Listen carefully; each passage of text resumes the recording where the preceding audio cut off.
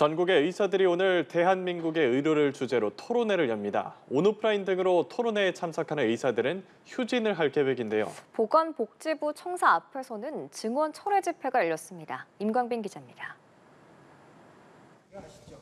범의료계 협의체 올바른 의료를 위한 특별위원회가 오늘 오후 대한의사협회 회관에서 대토론회를 엽니다.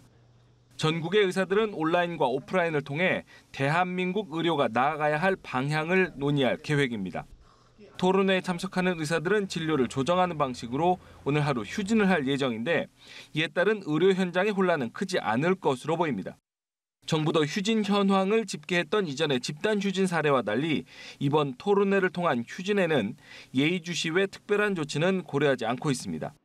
이에 앞서 세종시 보건복지부 청사 앞에서는 의대 교수와 전공의, 의대생과 학부모 등이 의대 입학 정원 증원 취소를 촉구하는 집회를 열었습니다. 강원대 의대, 충북대 의대 교수 비상대책위원회는 잘못된 증원 정책으로 전공의와 학생 3만 명 이상이 병원과 학교를 떠났다고 지적했습니다. 또 지역 의료의 붕괴는 오래전에 시작됐고 정부의 어설픈 개혁 정책으로 무너지기 직전이라고 비판했습니다.